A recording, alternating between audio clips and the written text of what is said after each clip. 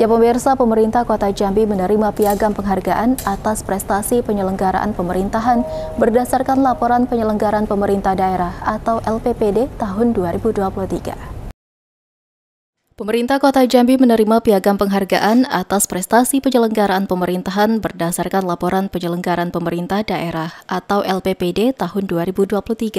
Berdasarkan hasil dari evaluasi penyelenggaraan pemerintah daerah atau EPPD dari Kementerian Dalam Negeri pada tahun 2022, menetapkan Kota Jambi mendapatkan status kinerja sedang dengan skor 2,67.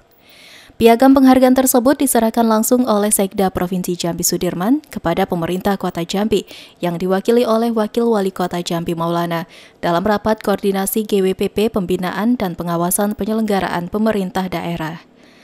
Maulana mengatakan penghargaan LPPD yang diperoleh merupakan gambaran atas evaluasi kinerja pemerintah Kota Jambi dari berbagai aspek, baik dari pelayanan dasar, standar pelayanan minimal, penyelenggaraan urusan desentralisasi, tugas pembantuan, tugas umum pemerintahan, kinerja anggaran penganggaran dan aset, bahkan laporan kinerja.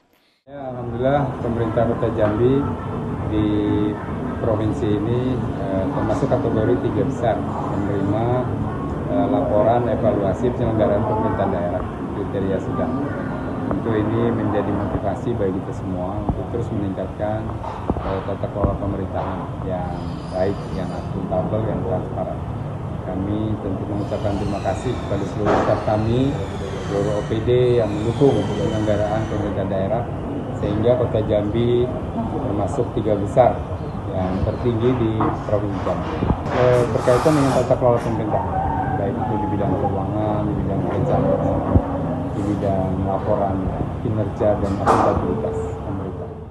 Heru Syaputra, Cek TV, melaporkan.